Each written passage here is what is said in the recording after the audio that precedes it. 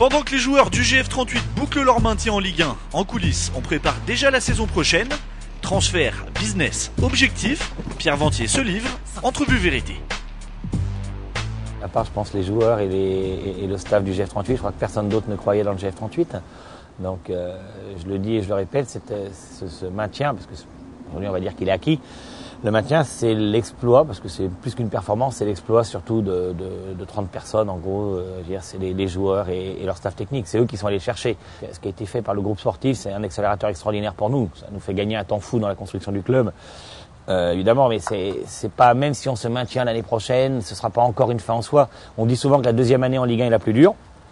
Je suis assez d'accord avec cette euh, vision, donc on sait que l'année prochaine sera difficile. Euh, D'abord parce que euh, le phénomène de surprise ne jouera plus de la même façon, parce que euh, forcément il y aura une usure mentale un petit peu chez, certains, et c'est assez naturel. On sait que la saison prochaine sera dure. Par contre, ce qui est évident aussi, euh, c'est qu'il faut que dès aujourd'hui on se donne les moyens de se renforcer. On, y travaille avec euh, Mecha. On a commencé à travailler sur le recrutement. Déjà, la première des choses, c'est d'essayer de garder un certain nombre de nos joueurs. On a prolongé Jimmy Mainfroid, qui était euh, un, une promesse qu'on lui avait fait euh, le soir de sa blessure à Caen, parce que, parce que la, blessure est injuste, si vous voulez, et qu'il méritait qu'on lui donne sa chance et une année de plus. Notre souhait, c'était d'aller plus loin avec Jimmy, donc il a prolongé trois ans, ce qui est important pour nous. On est très clairement en discussion avec l'Olympique lyonnais pour euh, Sandy Payot. La discussion avance, mais je ne vais pas vous apprendre qu'avec l'Olympique lyonnais, c'est toujours euh, particulier et compliqué. Je crois que l'OL aujourd'hui a d'autres soucis et, d'autres chats à que, Sandy Payot, en tout cas comme objet de transfert. Euh, non, ce qu'on va essayer de faire, c'est effectivement de garder quand même une partie de l'équipe actuelle et de la base pour ne pas avoir à tout reconstruire.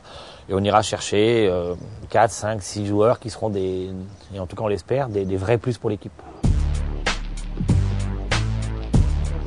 Euh, Il y a 5 joueurs qui sont prêtés. Donc on va en faire le point sur chacun et on va voir avec leur club actuel euh, quelles sont les, les- les situations. Euh, Les situations individuelles sont différentes. Daniel Moreira, euh, on le sait, ne, ne souhaite pas retourner à Rennes. Il l'a dit, il nous l'a dit. Albert Banning était blessé une partie de la saison. Je ne connais pas la position du Paris Saint-Germain le concernant. Sandy Payot, je vous l'ai dit, il souhaite rester. C'est quand même le, le préalable. Il faut que le joueur ait envie de rester. Et il reste le cas d'Eliott Grandin qui retournera à Marseille. Il retourne à Marseille, Grandin? En tout cas, il reste pas à Grenoble. Si demain quelqu'un venait et nous mettait dans la balance euh, X millions d'euros plus euh, je ne sais quoi, un joueur ou autre chose, peut-être qu'on réfléchirait. Mais euh, j'ai eu effectivement des clubs qui m'ont appelé pour Alexis. J'ai des clubs qui m'ont appelé pour Alexis. Et je, bon, je mettrai pas de nom parce que je pense que je sais même pas si Alexis les, les- les connaît tous. Donc la correction serait j'en parle aux joueurs, mais des clubs français et étrangers. Un club français, un club étranger, un club britannique. Euh, je l'ai dit très clairement au, au chess scout de- de- de- du club britannique, on n'était pas ouvert à la discussion sur Alexis Robin. Pour l'instant, il est intransférable. Il est même transférable, oui. Il a fait chez nous euh, une saison intéressante, mais pas complètement aboutie du fait notamment de, sa blessure. Il sera en fin de contrat l'année prochaine. Alors quand je dis qu'il a un bon de sortie, ça veut dire qu'on est ouvert à la discussion le concernant. Euh, autant on avait été euh, complètement fermé à toute idée de départ au mois de janvier, considérant que l'objectif sportif du maintien était prioritaire pour le club. Euh, même si Sofiane a été blessé, il y a aussi largement contribué, il ne faut pas l'ignorer. Euh, Aujourd'hui, Sofiane nous a fait savoir qu'il avait envie de bouger, de voir autre chose. On est ouvert, voilà, maintenant pour l'instant on n'a pas, mais c'est normal à cette époque de l'année, on n'a pas de proposition économique euh, le concernant.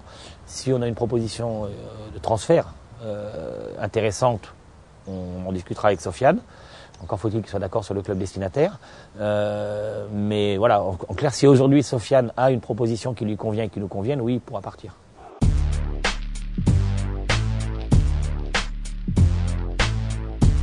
Maxence Flachet, le club, le club ne lui proposera pas de prolongation de contrat. Euh, je profite d'ailleurs de, l'occasion pour dire que c'est un moment douloureux. Alors, suis en particulier pour, pour moi avec Maxence parce que je travaillais avec lui de 2000, de 2000 à 2005 à Sochaux, 2004. On a passé quelques belles années ensemble, quelqu'un que j'apprécie beaucoup, mais qu'à un moment, voilà, la, vie du footballeur professionnel est ainsi faite. Je l'avais dit, je sais que peu m'avaient cru, on ne fait pas de contrat professionnel, on ne signe pas de contrat avec un joueur en remerciement de service rendu. On signe un contrat avec un joueur parce qu'on pense qu'il peut jouer en Ligue 1. Dans le cas de Max, on ne dit pas qu'il ne peut pas jouer en Ligue 1. Je pense qu'il aurait pu encore l'année prochaine euh, rendre d'éminents services en Ligue 1.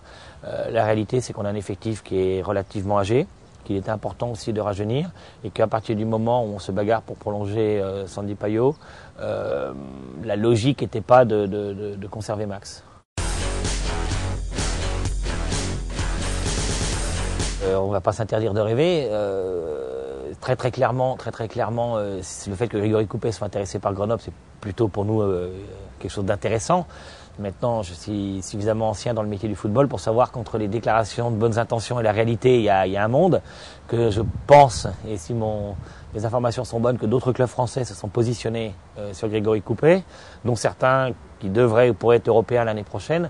Euh, quel va être son choix, si vous voulez, si, très, très clairement, si le choix de Grégory Coupé va euh, prioritairement l'aspect économique, ben, Grenoble ne sera pas compétitif.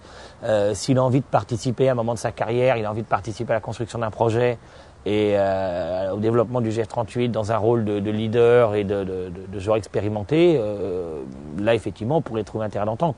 Mais euh, c'est une conversation qu'on aura très prochainement lui et moi. Vous le voyez quand? On va déjà se téléphoner, on a un rendez-vous téléphonique de cadré. Il vous intéresse clairement. Bien sûr que ça nous intéresse, bien sûr que ça nous intéresse. On va pas, on va pas se mentir, quand vous avez un joueur de cette dimension qui a été international, qui, dont tout le monde reconnaît qu'il a aussi un, un, point important dans un groupe, euh, il faudrait être fou pour pas s'y intéresser.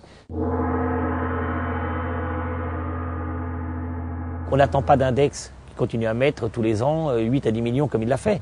C'est totalement surréaliste. Aujourd'hui, aucun club français, aucun club français, à fortiori en deuxième division, n'a été soutenu par son actionnaire comme l'a été le GF38. Ce qu'il faudrait que chacun ait vraiment clairement à l'esprit, et je suis pas sûr que ce message soit très bien passé, c'est que euh, c'est pas une situation durable. C'est pas une situation durable. Je veux dire, aujourd'hui, si l'automobile Peugeot devait mettre 10 millions d'euros dans le FC Sochaux-Montbéliard tous les ans, il y a longtemps que ça serait terminé.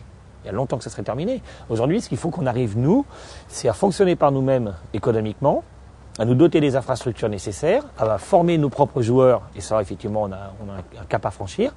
Mais euh, je veux dire, imaginez que tous les ans, Index va mettre la, la, main au porte-monnaie pour, euh, pour soutenir un club de football, c'est un peu, c'est un peu rêvé.